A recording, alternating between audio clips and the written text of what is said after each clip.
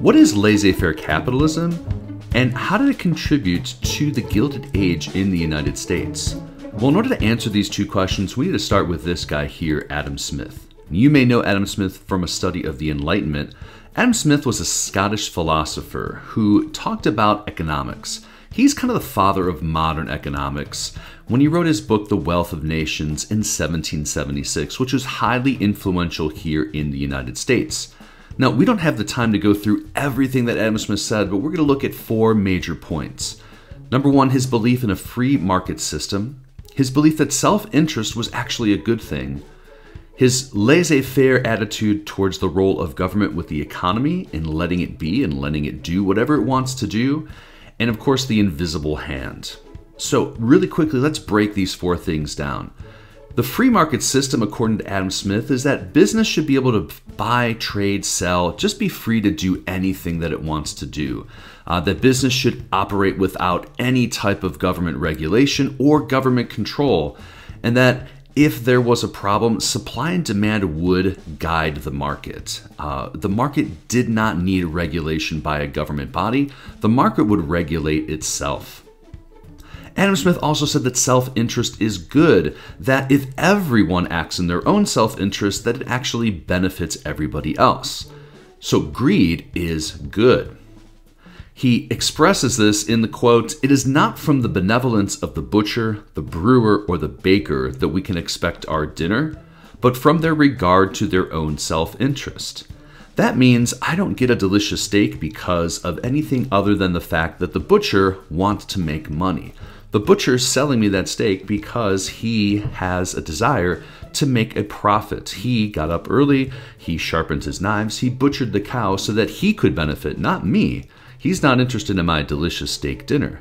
Now I get a delicious steak dinner because the butcher's interested in his own self interest. The butcher wants money. Now, in terms of laissez faire or let it be, Adam Smith said we don't need the government to get involved with this, that we want no government regulation, that government regulation would only interfere with economic growth, and that the more the government stayed out of the economy, the better things would be. We don't need the government to regulate things because we have the invisible hand. Yes, Adam Smith said there would be an invisible hand that would be operating in the market and in the economy in order to address and to fix the problems. For example, if the butcher ran a very dirty butcher shop and the meat was not of high quality, then people would stop going to the butcher shop people would go across the street to the other butcher shop. So, because of competition between Butcher A and Butcher B, Butcher A has to make sure that his meats are high quality, that his store is clean, and that he operates a good and productive business. Because self interest and public interest are connected. If the butchers are in competition with each other, I'm going to benefit from that because I'm going to get good quality meat at a good price. So Adam Smith says there's no reason to regulate because the invisible hand will do it for us. Now, without government regulation, factories and businesses can have unsafe working conditions because there are no laws regulating them. They can also pay low wages to their employees, to work them as many hours as possible, to hire children, to produce unsafe and unhealthy products or to actually make false claims in their advertising about those products. Without regulation, businesses are going to do all the wrong things, unfortunately. But by doing all these wrong things, they are going to reap the rewards and accumulate massive, massive, massive profits. And because they're making so much money, they're not really incentivized to make very many changes. Change is going to come very slow because the money keeps piling up. The government's also going to act very non laissez faire in certain ways. While they may not be regulating businesses, they are taking some actions to help businesses. Number one, the government's going to keep taxes relatively low. This is going to allow businesses to reinvest the money that they're saving in taxes and grow their business larger. So, low taxes definitely benefited large business owners. And the government also established high tariff. A tariff is a tax on an imported good.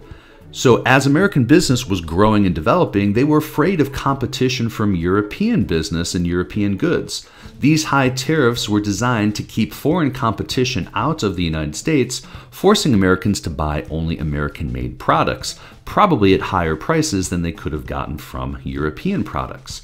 These high tariffs are going to be in place for a while until American business feels it's strong enough in order to compete on a global market.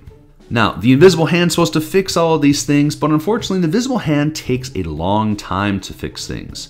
So we are going to need to see some action taken by private citizens and then the government to address issues like child labor, low wages, and poor and unsafe conditions.